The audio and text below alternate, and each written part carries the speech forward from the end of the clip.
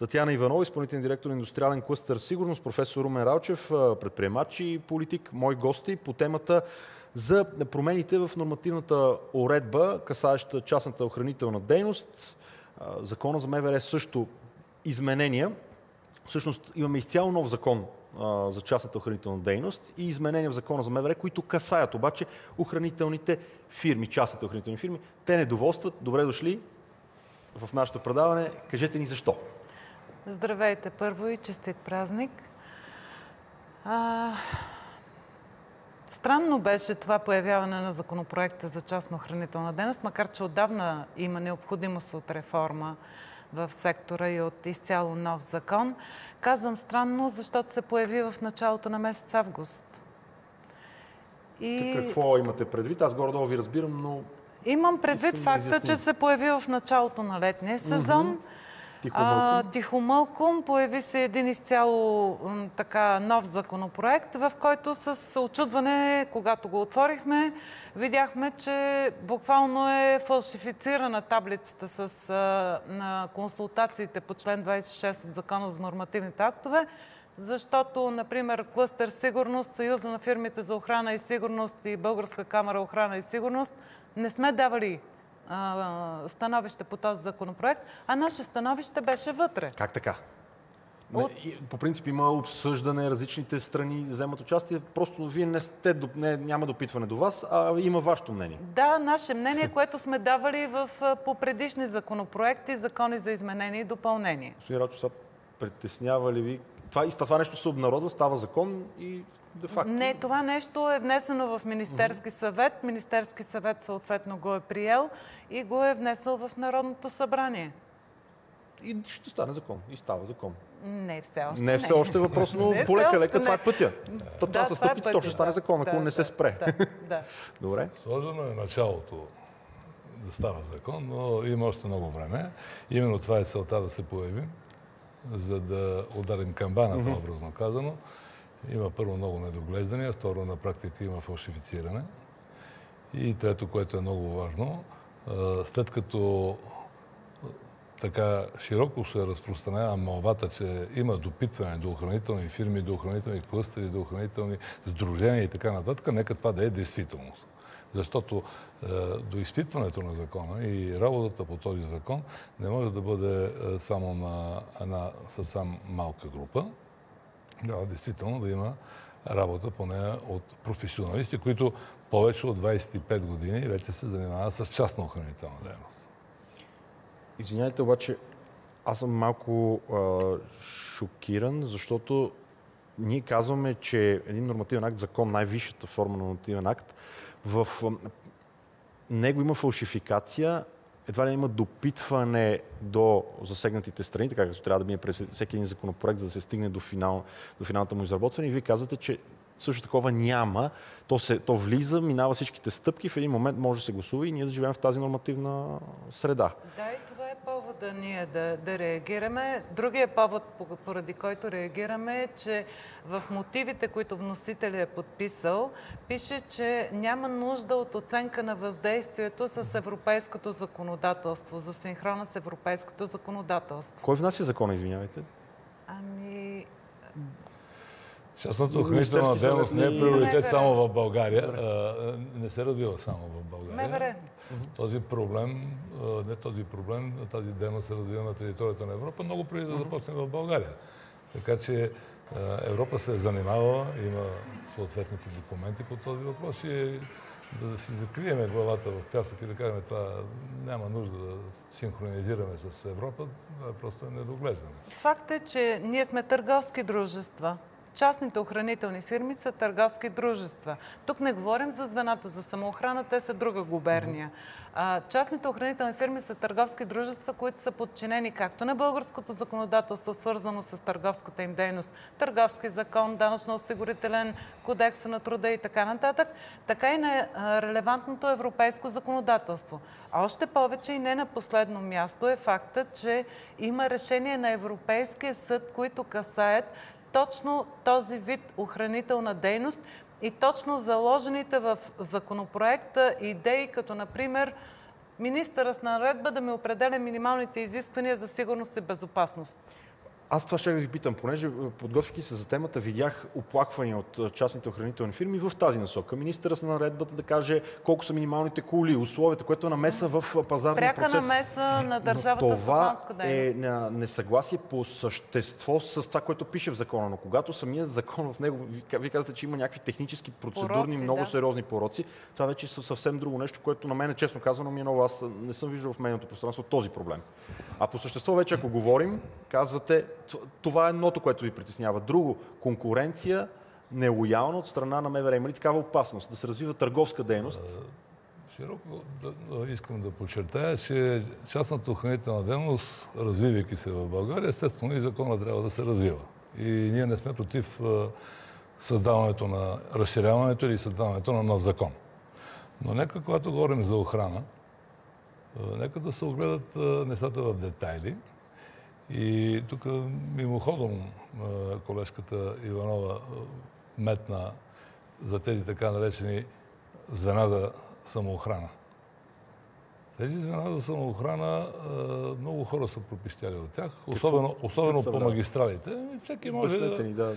всеки може да си създаде едно такова, ако има две сладкарници и половина на клуб, да не говоря за малко заводче или каквото и да било. С какви правомощия са те, че да пропищи? Те абсолютно се покриват с правомощията на охранителите. Би трябвало на територията на тези, но те работят в една съвсем друга изкуствена среда. По-лошото е, че една голяма част от така наречените мутри използват този пропуск в закона. Всички го знаят. Една голяма реформа се налага на охранителните фирми. Абсолютно няма една запетайка промяна в е, статута на тези звена за самоохрана. А Тоест, по регистъра, които- само Да. да, ви уточня, Да. че по регистъра на частните охранителни фирми, който ние направихме, звената за самоохрана са с над 1100 лиценза, ако не ме лъжа паметта последно. Аз доколкото видях, че а, в новите законови уредби, за да, получите, за да получи лиценз компания от а, частна охранителна, като частна охранителна фирма, трябва да членува в браншови организации, което вече пак е някаква форма на, на насочване на, на, на меса. Обаче, нека да изясним този въпрос с тези, как ги наричаме? Звена, за, самоохрана. звена да. за самоохрана. Добре, това, Това в Европа като... го няма никъде, между другото. Български модел. Български модел. И то в контекста, когато пропищява населението от всякакви такива мутренски Да, прояви. обикновено Те могат ли да казват, задържат такива хора, да задържат и да се... Ами една част от тези хора, които правеха тези сцени по магистрали, е, по околовръстно все и така нататък, те са членове, е, всъщност работят в така наречените звена за самоохрана. Там полицията практически не пипа. Никакъв контрол. Защо? Контрол е създаването на лиценза за създаване на звено за самоохрана. Горе-долу там приключва. И от тук нататък се взираме в тези, които действително работят на светло, охранителните фирми, които многократно се проверяват и така трябва да бъде. Но тук искам да обърна внимание на тези правомощия, които искат да съдат на сегашния министр или на следващи по-нататък, на министъра, с поднормативен акт да регламентира дейностите вътре в отделните охранителни фирми. Ние се връщаме назад във времето, когато липсваше закон за частната охранителна дейност и всичко, цялата тази охранителна дейност, повече от 20 години, се а, управляваше от различни видове Наредби. наредби Директно от на отделен министр. Началото на януари се пуска наредбата, след това юни се сменя, после се сменя и така нататък. И този хаос и всички викаха, ама защо стават тези неща, е защото е, имаше интерес да няма частен, е, закон за частната охранителна дейност. Сега има закон за частната охранителна дейност, ние даваме назад. Освен това, ако го свържеме това и с е, е, тихомълком, онова, което, което би трябвало да стане началото на 2018 година, да се разреши на една част от служителите в МВР да упражняват частна охранителна дейност, Да работят и да като. работят и частна охранителна дейност. Това до сега не е така. Кое ви притеснява там? Ами притесняваме, че от едната страна МВР работи по моя лиценз, от другата страна той се явява на търг с мен. Ами да, за два, за два, три. То не е за притеснение, то е нарисувана схемата. То е нелоялна конкуренция от всякъде и доста... Абсолютно не. Така, да се ви върна обратно и на, на наредбата. Значи наредбата всъщност се явява пряко нарушение на Конституцията, пряка намеса на държавата в стопанска дейност. Това е все едно, отдеве го коментирахме с професор Ралчев, Министерството на културата да издаде наредба, с която да каже на художниците какви платна, какви бои и колко да има. Да, обаче контраргумента най-вероятно би бил някой, за да бъде частна охранителна фирма и да ползва този статут, който е специфичен, той трябва да отговаря на някакви а, изисквания, така че да си върши работата коректно, да знае Веднага как да залавя. Да, да. Ние сме търговци, не извършваме кой знае колко по-различна дейност. Това е специфична услуга и не на последно място има решение на Европейския съд, има дела заведени срещу такива държави, които като Белгия, като Испания, като Франция по темата. И там Европейска, Европейския съд казва, частните охранители не, са, не трябва да бъдат приравнявани към публичните власти. Частните охранители извършват дейности и услуги не по-различни от правомощията на всеки един гражданин. Като залови някой на територията на собствената си къща или обект, Чака да се обади на полицията. Така че а, европейската статистика, Европейската комисия има стратегия за развитие на частната индустрия за сигурност. И там се казва, че секторът трябва да бъде ясно дефиниран. Да, вече е дефиниран.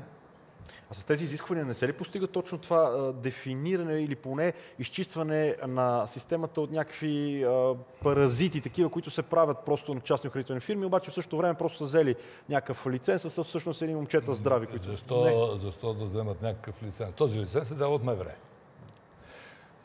Всяка фирма, която има лиценз, подлежи на контрол върху оръжие, личен състав, всяко назначаване, на който да бил служител, даже на един в тридневен срок, какво трябва да се извърши в еднодневен срок и така нататък и така нататък.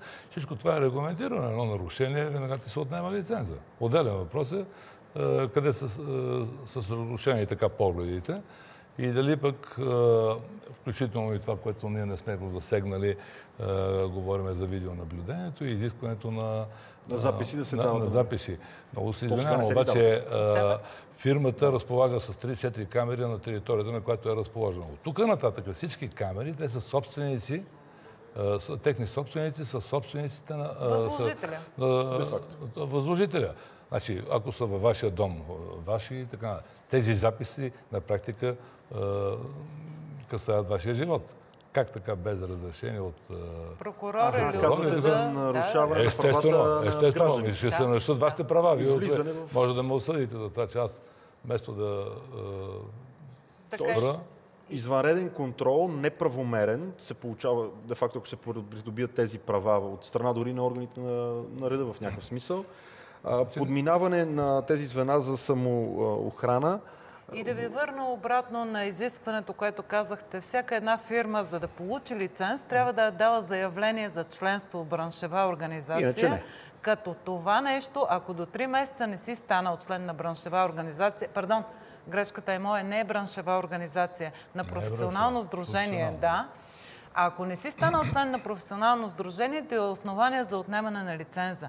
Кое го налага това нещо? Плаща ли се? Сигурно се плаща с някакъв... Това е едното. Но другото, което е, че не може с заложено в Конституцията право на сдружаване, което е доброволно, както и в Конвенцията на Международната организация на труда, да го залагаш като основание за издаване на лиценз. Сиреч, ти ограничаваш получаването на достъп до стопанска дейност. вашата да телевизия, ако не е членува в един синдикат, трябва да... да, да, да Директно няма право да Няма пари. право на лиценз от... да, да лиценза. Ами вие изтъквате доста причини, които са чисто конституционно, вероятно биха били много голям проблем при на четенията, дори само да се коментира, че може да отиде на Конституционен съд. а, а, Въобще за така, чисто логически, като че ли доста проблеми. Административната тежест е една дъвка, която абсолютно всички много дъвчат за това как ще бъде намалена. Поне намалява ли се с текстовете административната тежест за вас? Като... Как да се намалява, като описват още поне 3-4 лиценза, които трябва да се всеки един по 10 000 лева. Това значи една фирма трябва да е още 40 000 лева, за да получи и другите лицензи. Умножете го по 1000 и ще видите за какво става дума. Отделно са изискуемите документи по всеки един от тези лицензии. Значи, за да се извадят всичките тези документи, също е отнемане на време. Това увеличаване на административната тежест. Да, пише се там, че евентуално може да се подават по електронен път. Ета, 14 години няма регистър на частните охранителни фирми. Сега да очакваме, че няма да се увеличи административната тежест, няма как да стане.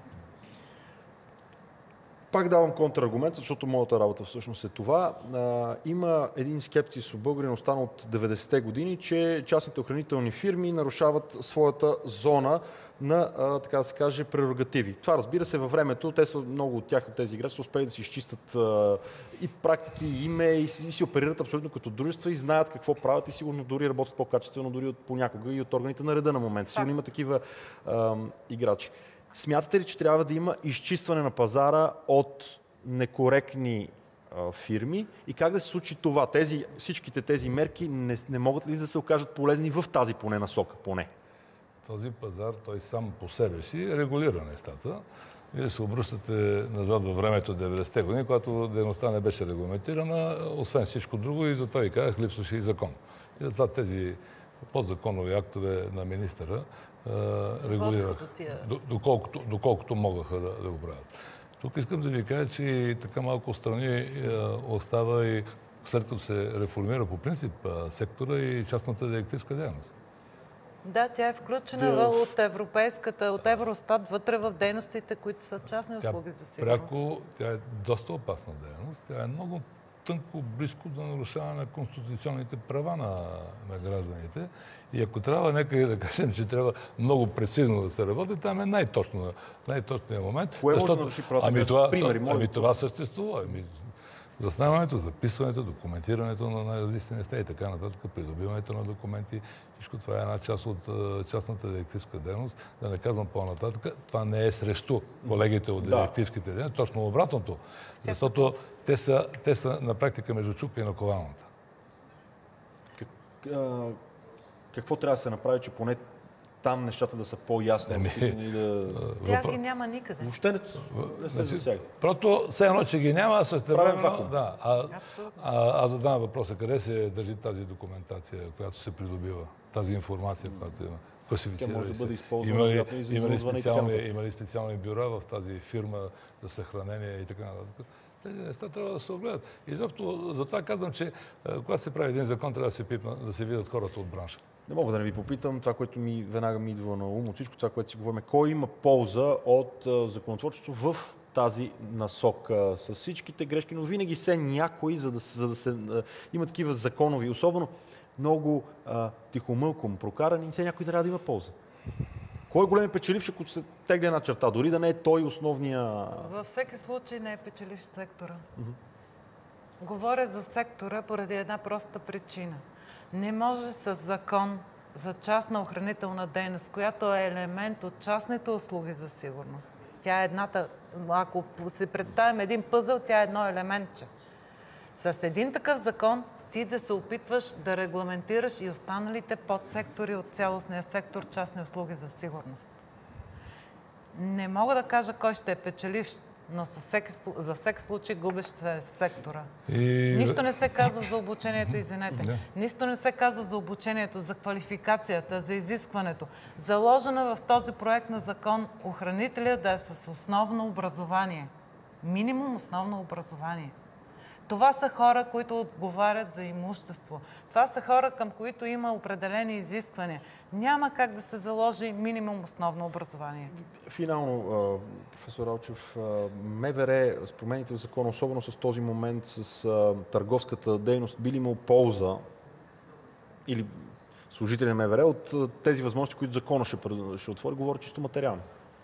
Аз мисля, че МВР има доста проблеми и това ежедневието го показва. Преди всичко, трябва да, да преди всичко трябва да се намерят няколко хиляди души, които да подпълнат липсите в щатната таблица на МВР. Казвате по-основен проблем. Това е един основен момент. Те искат да разширяват дейност и да създават нови предприятия и така нататък. Не, Едното за друго си бива. Значи нямаме пари за дрехи, но имаме пари за нещо, което да направим. Това е, това е едното. Второ, не случайно колежката Иванова подигна въпроса за обучението. Защо в това, е, този прословут закон не се регламентира нещата действително по-точно? Много проблеми нахвърляхте, ще ви каним пак следиме темата, въобще целият законотворчески процес, как е, ще върви, защото това касае не само българската економика, ами направо си касае правата на човека от това, което аз разбрах от нашия разговор. Благодаря много за участието, весело изкарване на празника.